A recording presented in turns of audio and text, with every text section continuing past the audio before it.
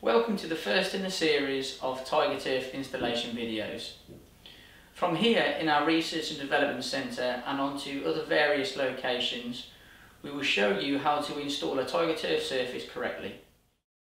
During this section of the video we are going to discuss selling for purpose.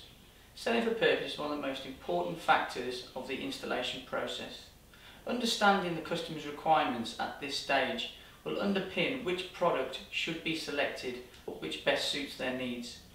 TigerTurf produce a wide range of products, from soft aesthetically pleasing products that are specifically designed for low traffic use. These products will create a soft healthy looking lawn all year round. Onto our more high wearing use products. We incorporate the same technology as we do in our sports range in some selected landscape products. These products are designed to withstand any energetic family or commercial use due to their hardware and yarns.